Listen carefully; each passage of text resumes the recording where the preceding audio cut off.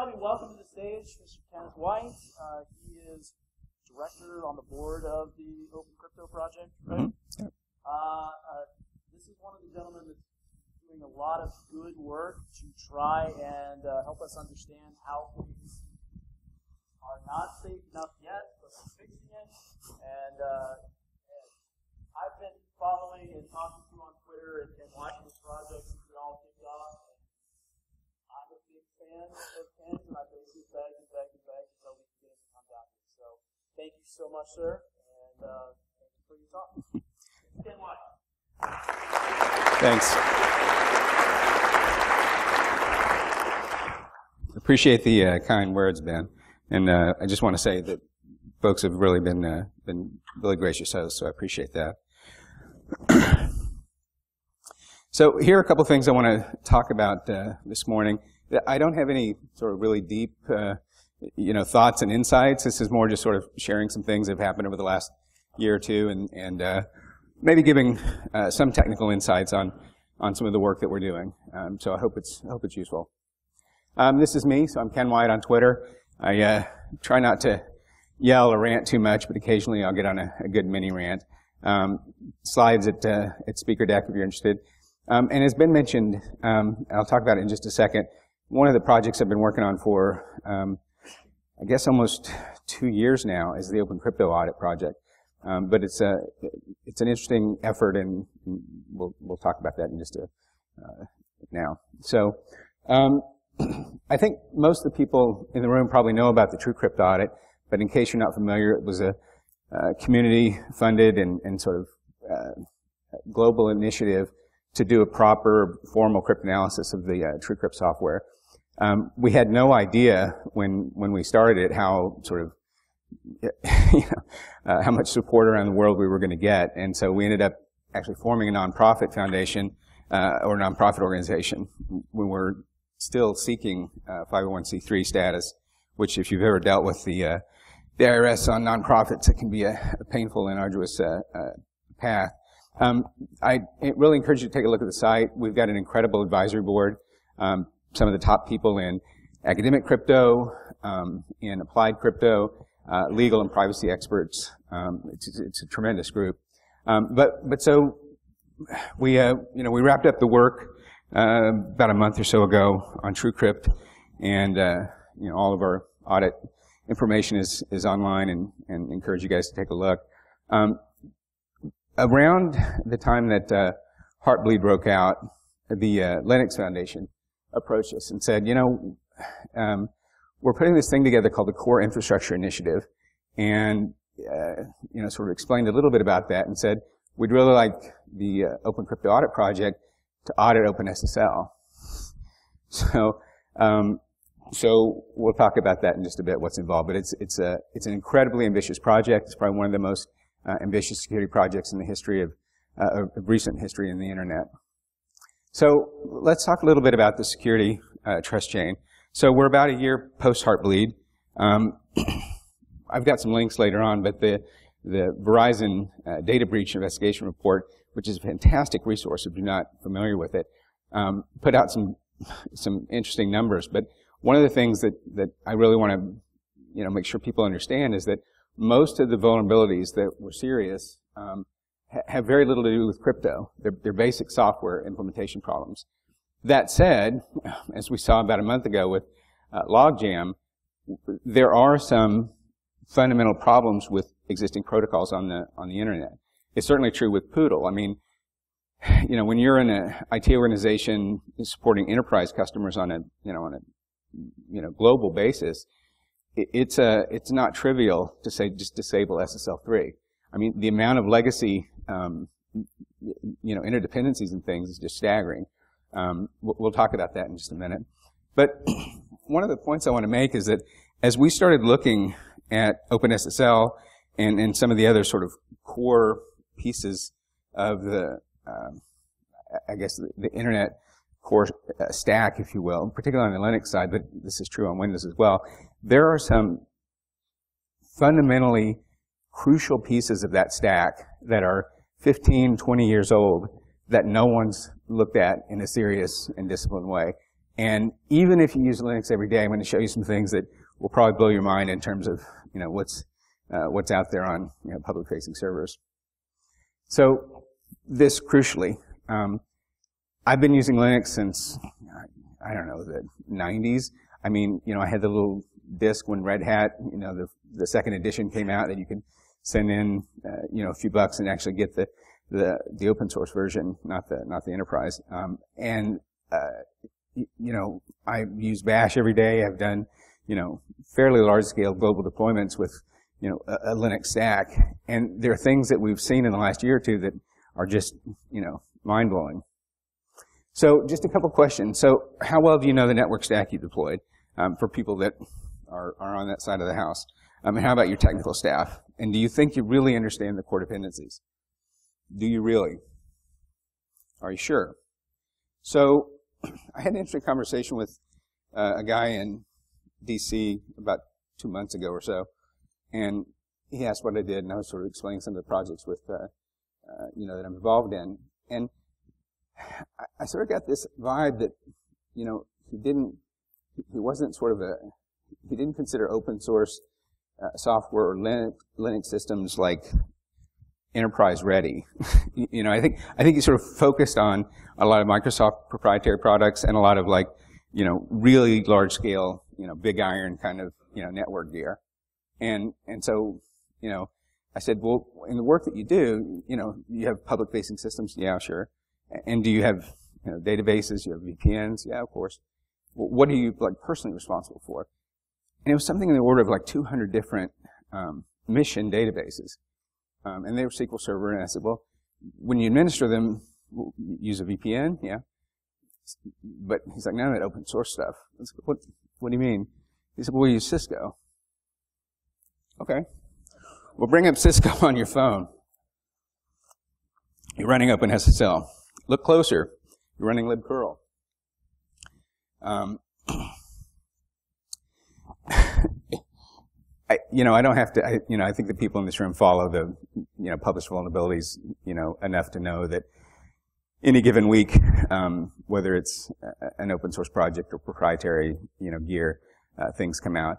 It is a little surprising when a company the size of Cisco has hard-coded SSH keys that an attacker could run arbitrary code as the root user, you know. so, um, when when Shell Shock came out, I think a lot of the, you know, a lot of the media just gets this wrong. I've seen, uh, you know, even even like top five mainstream media sites literally take screenshots from Twitter of uh, satirical accounts, you, you, know, satire, like like there's a what is it? Popehat has this uh, sort of fake, you know, North Korean government uh, Twitter.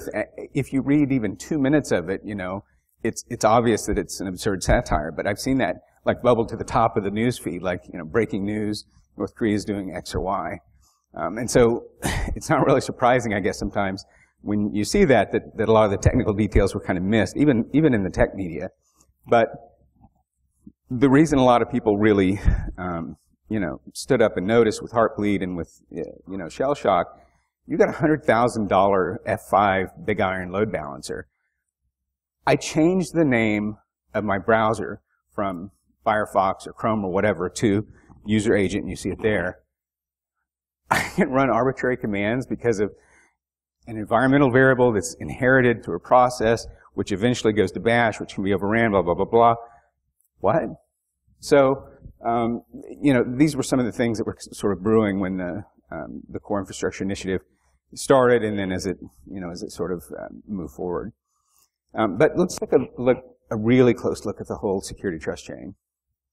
So, if if you deal with um, you know web-facing systems, I, am guessing that you know if you're sort of a hands-on engineer, you maybe you know we sort of the conventional wisdom is well you limit the attack surface, you you turn off unneeded uh, services, you um, you know you don't install unnecessary executables, you know, you, you basically make the attack surface as small as possible.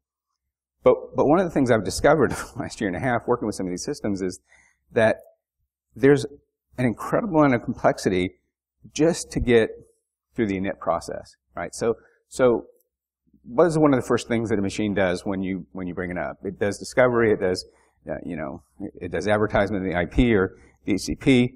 So at the very earliest levels, what is one of the things that's happening? Well, you need to identify the machine, and you may need to identify the, you know, the um, FQDN that your, your network is sitting on. Well, that's not necessarily ASCII, uh, right? I mean, so the moment we allow non-Latin characters, and then we go all the way into Unicode, well, now we need internationalization libraries in the init boot process of Linux. I, I can tell you how many people in this room have ever heard of libIDN before. Right. It, it's, you can't even bring up the, the, the Ethernet stack on modern Linuxes without doing that because it's part of the name. Uh, compression, we know that, you know, libg is, is everywhere. If you deal with the crypto side of things, you know that, you know, certificates are crucial. Um, but then, you know, if you look at sort of the bigger enterprise middleware, like, um, you know, a lot of the uh, CRMs and uh, HR systems and things, you know, the, the core Java um, crypto library is called Bouncy Castle. Well, there's also the other web frameworks around, Spring, Struts, etc. Well, libbfd, how many people have heard of that? People know about curl, right? I mean, you know, it's a real useful utility and things, but libcurl is actually a core piece of, of some of these things as well. So, how many people have used uh, one of these utilities, cat, less, or more on Linux? By show of hands, right? Everyone uses this, you know, strings. How many of you used strings before, right? Don't do that. Don't do that without doing dash A. Why? Because there's a 15-year bug, which in some distros has been fixed, in others they quibble with whether it's, um, you know, uh, you know, a true vulnerability or a feature. But so libbfd, it's a it's a core utility that's in the binutils that's been around forever that helps identify the type of file that you're looking at. so I, I, don't know if this, folks in the back can see this, but um, one of Google's like best security engineers, he goes by the handle of uh, uh, um, on Twitter, has put together a utility that's well, it's, it's actually a whole series of tools that's fantastic called the American Fuzzy Lop or AFL.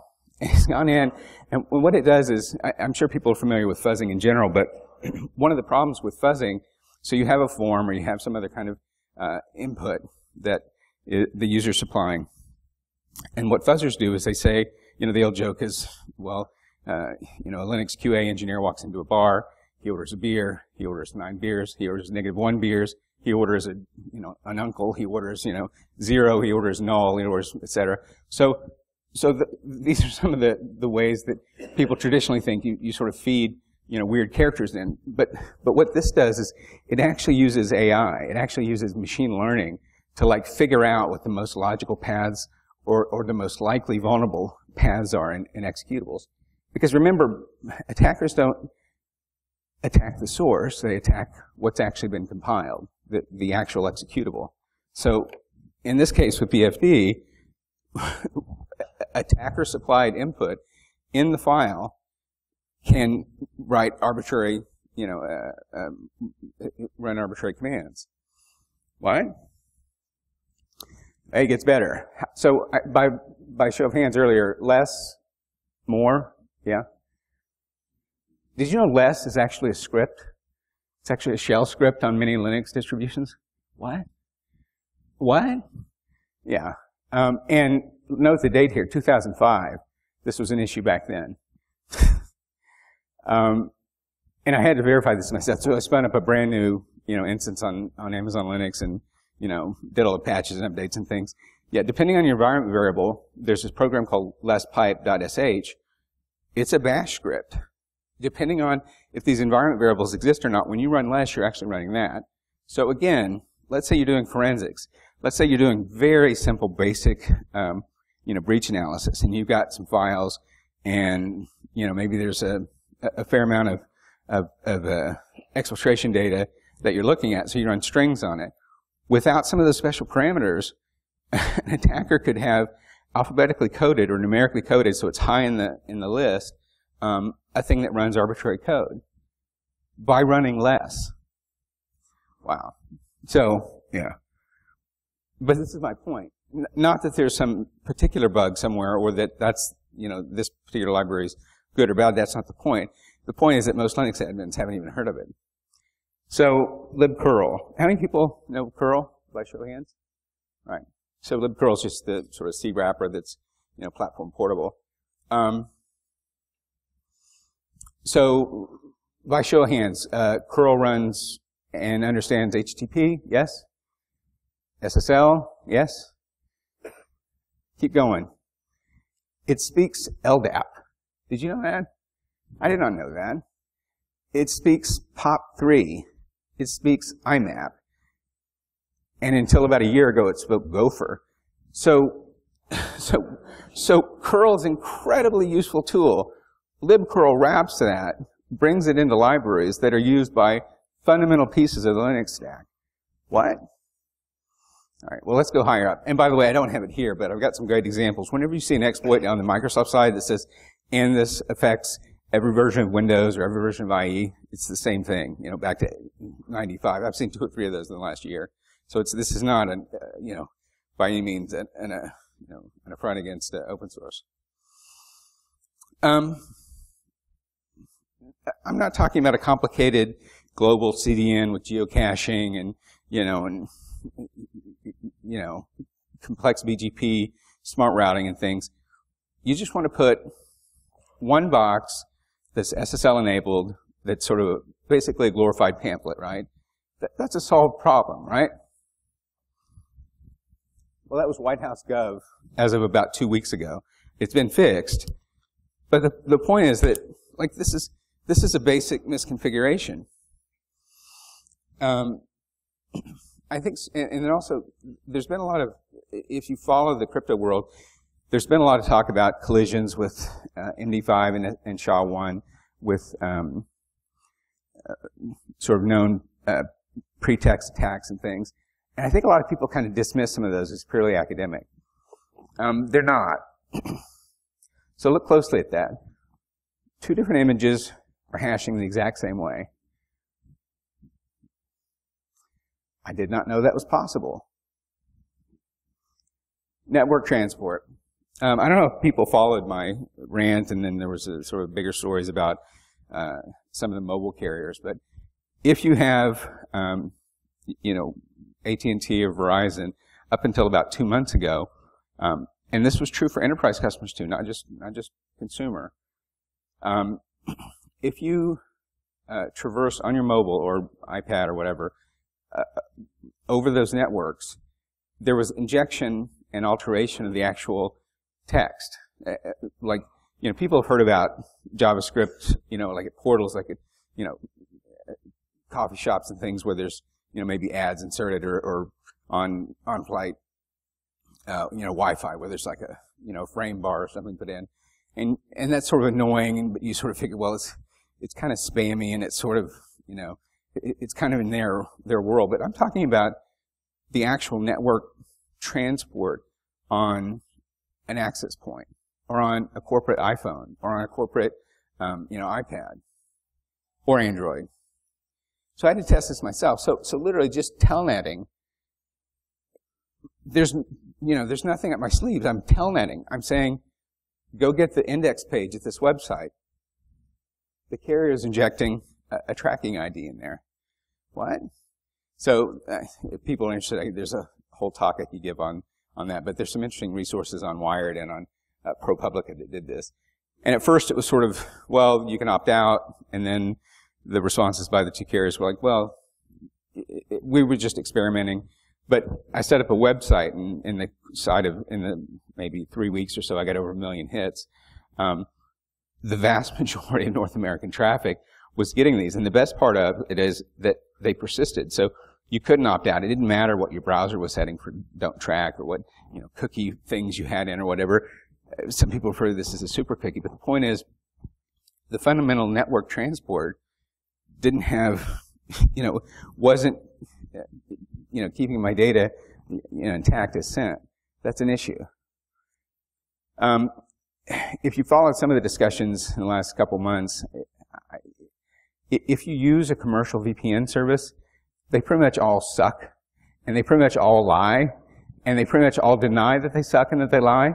But here you go. Here's like I don't know, 15 of the top uh, VPNs. This is their pre-shared key. This is their pre-shared key from links from their docs and from their support forums and things. So sometimes I'll say, well, that's uh, it's only a theoretical attack. This is the equivalent of putting your certificate's private keys, you know, on a on a public FTP site.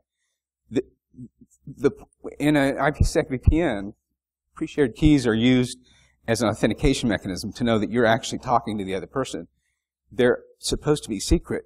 These are published, and they're not even clever. You know, like like it's the IPVanish, and their pre-shared secret key is IPVanish. Great. Um, some of the stuff that came out of the the logjam analysis with issues with the downgrade attacks on uh, on crypto, you know, we're not even getting there. This is this is just giving it away.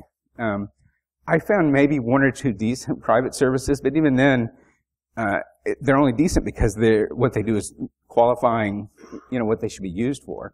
Sort of, well, if you just want to prevent snoopers at a Wi-Fi cafe or at a, you know, a hotel, uh, you know, public Wi-Fi spot, it's fine. But if you're, you know, concerned about, uh, you know, tracking or, or ads or things like that, it's probably not the best use. Right, because VPNs don't provide anonymity, and they don't really provide privacy.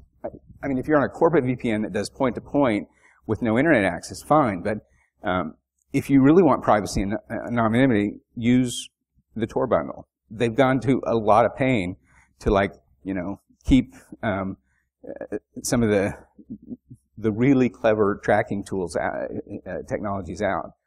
Um, ad networks. I don't know how, it seems like every month that goes by, one of these major media sites, this is not some, you know, you know, I can has cheeseburger site. This is Forbes. This is Fortune. This is CNN. This is the New York Times. This is Washington Post. And, and often what you see behind this is, well, first is a political discussion about, you know, the Syrian Electronic Army, whatever that is, and then attribution. But I think it misses the point. When you see these ad network hacks, what, what happens is the, the these major properties, these major web properties, have lost control of their DNS. That's a big deal. I mean, they're not sophisticated hacks. A lot of times they're social engineering, a lot of times they're simple email resets. That's not the point. They've lost control of their DNS. Any uh, IBM or Lenovo users in here? You remember this one? Bank of America, HTTPS bankofamerica.com, issued by Superfish. Thanks. That was that was excellent. PrivDog. Excellent. And uh, what, what got missed in a lot of the narrative about the Lenovo thing is that if you're a reasonably mature shop, you know that if it doesn't matter where you get your, your notebooks from, HP, Dell, whatever, you do a clean wipe on a known image, you install your pieces, maybe modify some of the certificates, you know, put whatever you need on there, and that's fine, but that's not how the vast majority of consumers deal with things. And, it's, and that's not how most doctors' offices and attorneys and CPAs and accountants and dentists and, you know, your cousin does that. What they do, maybe if they're a little bit tech savvy, is they go in and they do the decrapifier where they sort of get rid of all the trialware and the, you know, the 30 day Hallmark card creator generator thing and the, you know, the McAfee thing that's outdated what got missed in the story with uh, Superfish was even if you did that, the fundamental operating system root store had been modified. So you were still getting man in the middle when you went to Bank of America or whatever site. In real time, certificates are being generated, presented as that. Uh, Microsoft did one of the more unusual things. Um, they actually sort of invoked the nuclear option. They actually dropped it from the trust store. They went in and modified your OS if you ran the, uh, I forget what it's called, but their, their bundled version of the antivirus and pulled it out. they reached into the computer and yanked the software out at the OS level. That's, that's not optimal. And this wasn't, by the way, just one or two cheap laptops. This is the list. I mean, there were a lot of machines affected. And I will guarantee you these things will be in the supply chain for two, three, five years. They'll keep showing up on eBay and, you know, it, this was a fundamental violation and I, I'm still just, you know, gobsmacked that it happened. But trust is complicated, right? So um, I think people have followed uh, some of the, the issues around the export control on on uh, on ciphers.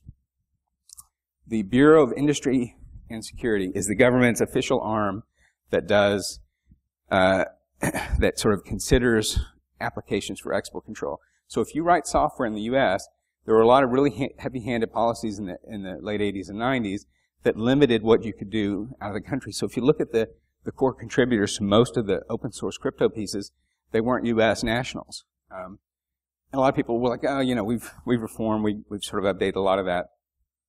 We haven't actually, in in fact, dealt with the long-term ramifications of that. We haven't dealt with the fact that cipher equals null is still legitimate on like 3% of all public websites. What? What? Um, we haven't dealt with the fact that 40-bit, which is now, you know, on an Amazon GPU can be, you know, cracked in a few hours, uh, worst case, is still in a ridiculous number of machines uh, out there. But so the government's agency for encryption policy doesn't have a valid cert. Oh, okay. So if we look closer, it's not even close. It's, it's not even close. And then some of these things aren't helping when, you know, director of the NSA says, I don't want back doors, I want front doors with big locks, big multiple locks. See, the problem is, we had locks that were sort of this political compromise in the 90s, and it's 2015 and we're still feeling the implications of that in things like logjam.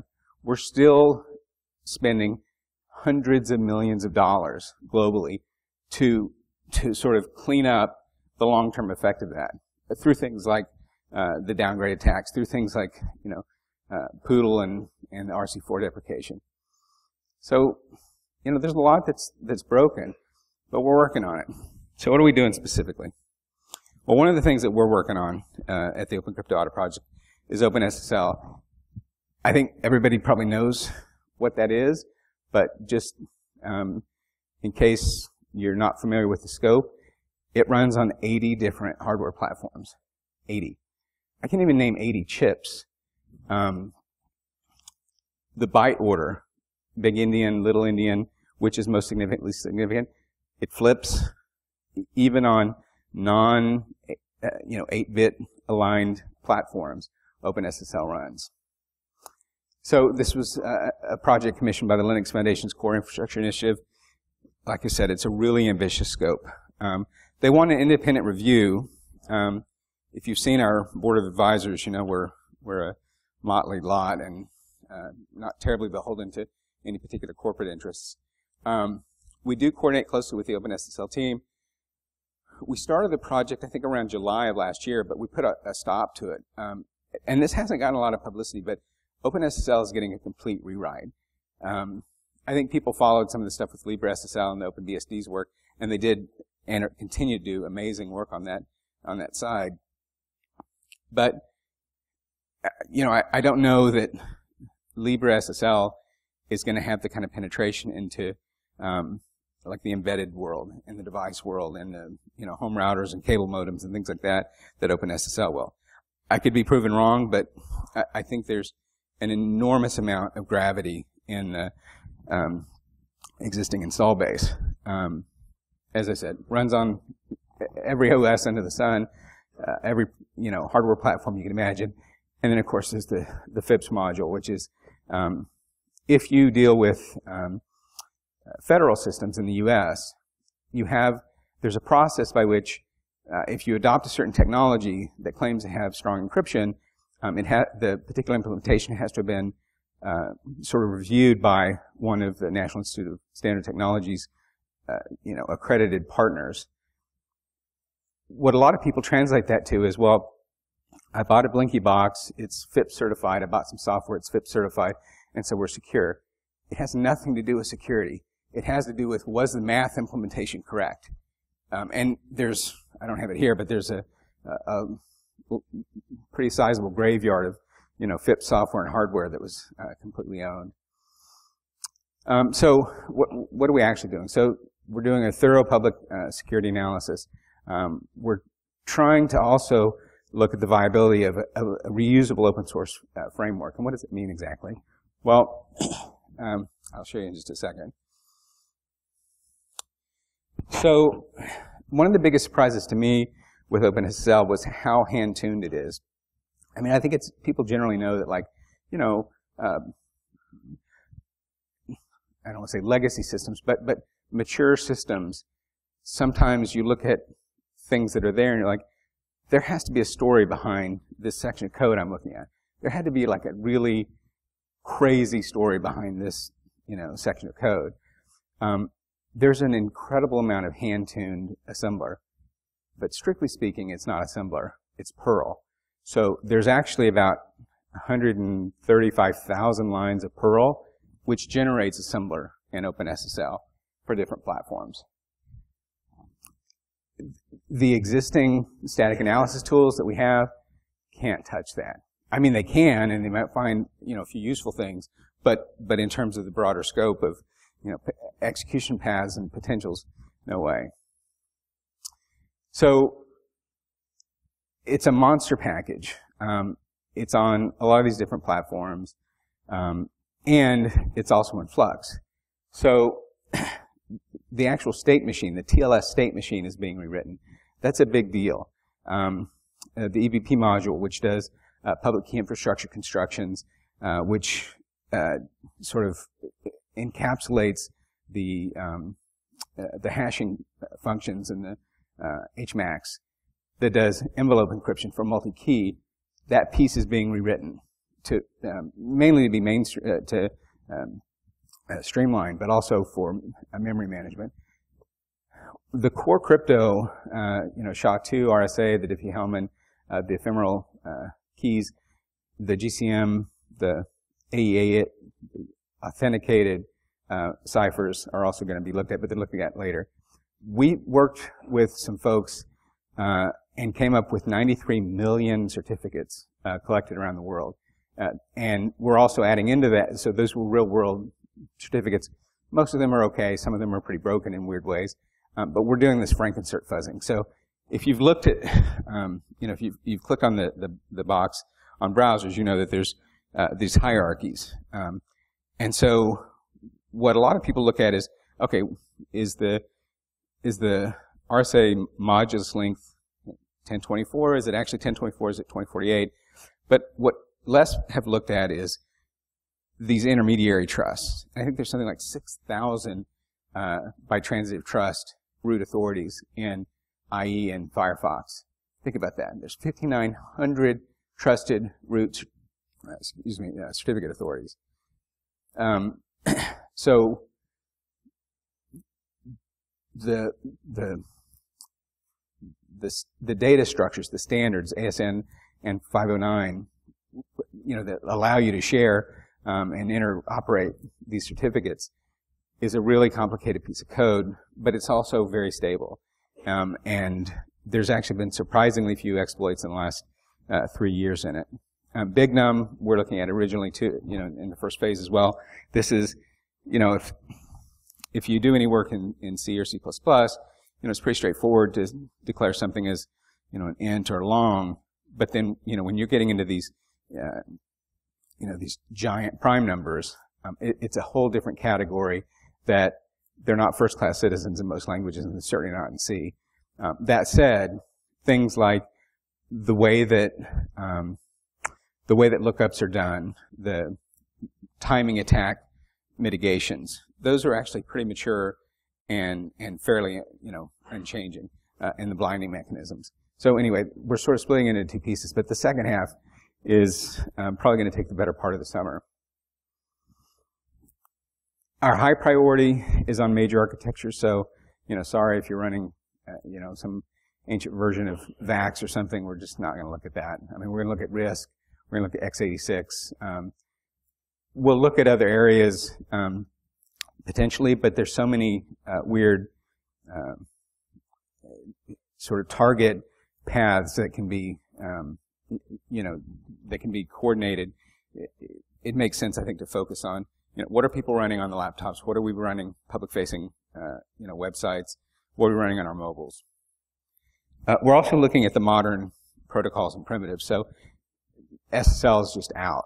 Um, I mean, SSL 3 and therefore SSL has been completely deprecated. So we're not looking at that. These are these are HTTP 2.0 and uh, and prior to that, you know, what do you actually run in current versions of IE? Um, you know, Firefox, Chrome, etc. What do those uh, cipher suites look like? If you've got a nine-year-old, you know, Nokia candy bar phone uh, and it's on WAP, uh, and your still runs RC4, you know, we're probably going to give that less attention. Um, the implementation of AES, and by that I mean the actual math, the, the finite field tables, the matrix transformations, etc.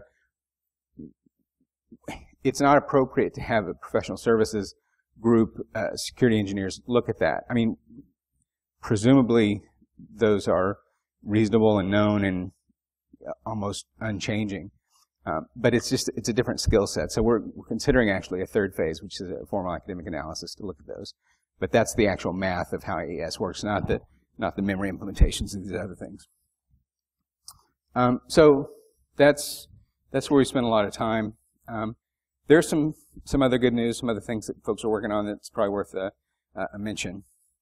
I think people may be aware of the TLS standard, the new 1.3, was uh, ratified in uh, or was put for draft in I think December, and it's um, it's, uh, it's hit sort of formal RF, RFC now.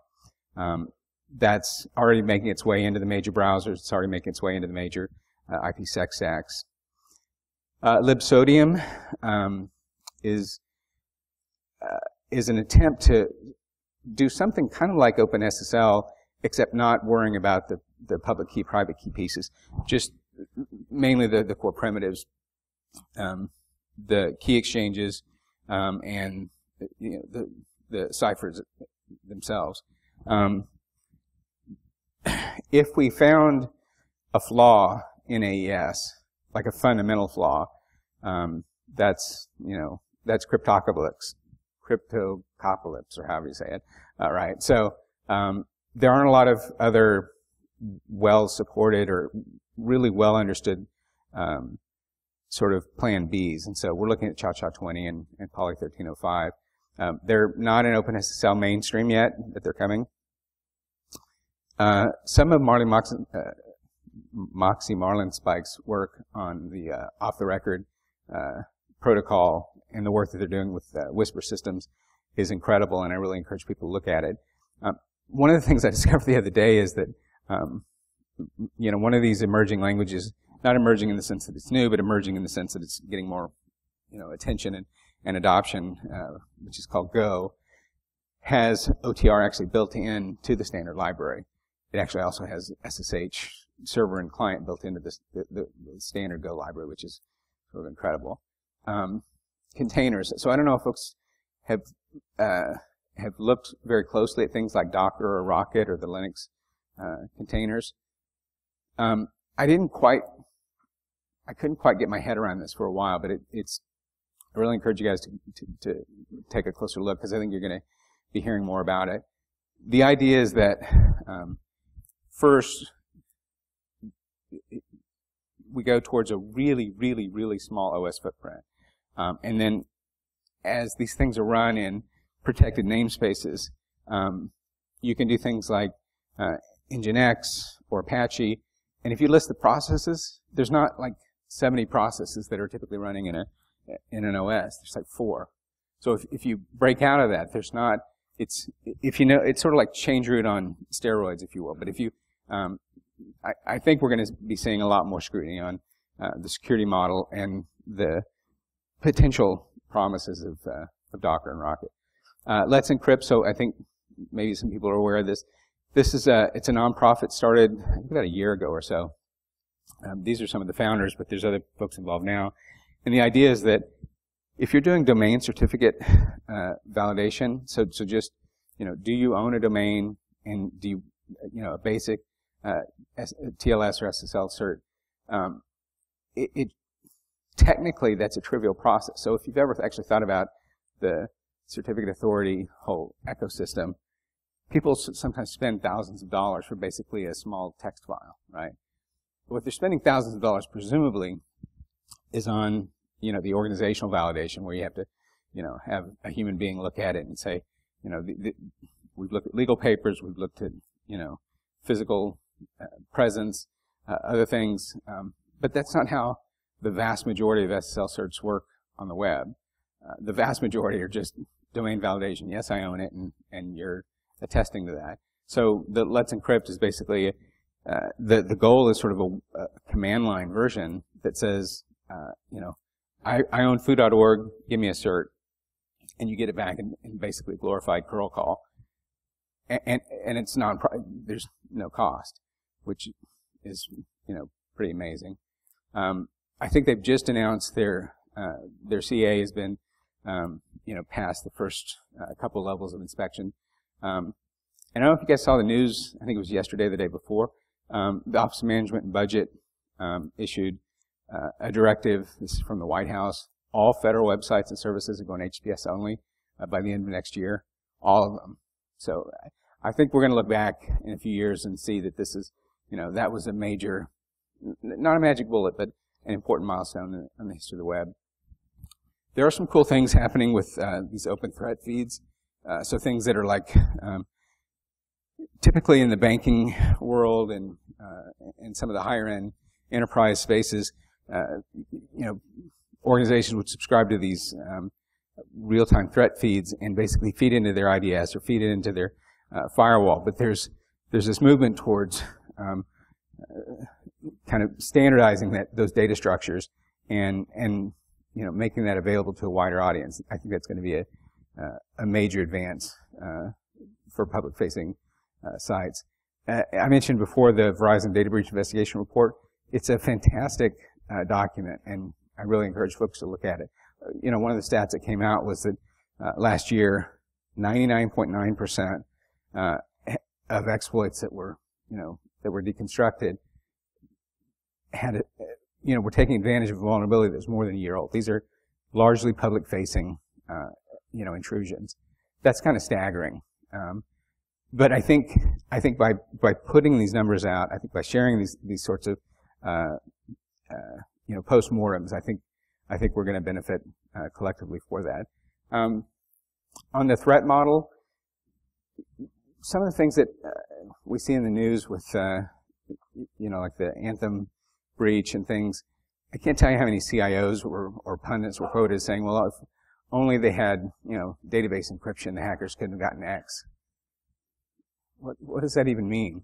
If you, if you're able to compromise all the way to DBA privileges on the machine, then either your database is shut down and you're talking about an archive, which, okay, but if you're talking about an open running database, there are very few technologies. I mean, I, I know a few through Oracle that can try to, you know, split permissions and things from administration DBAs versus application DBAs and, and those, but, but, but, but really, that's just a misunderstood threat model. An encrypted database is one that's shut down. A running database is unencrypted, right? An encrypted disk is one that's shut down. When you're running it, it's not encrypted. So I think, I think we need to collectively get more nuanced about, you know, what our threat models is and are and what we're you know, what our approach to that is. Um, and finally, you know, we're in the golden age of web security. It, it, can be a little disheartening, I think, sometimes to see the the the, the scope of breaches that are happening out there. Um, but there are some really, really talented engineers at some of the top tech companies around the world that are working on things from the fundamentals of the stack all the way up through um, through the certificate trust chain. And I think that's a, a crucial and important part of our kind of growing pains as we go. So I'll leave you with this. Security trust chain is broken, but we are working on it. Be careful out there, people.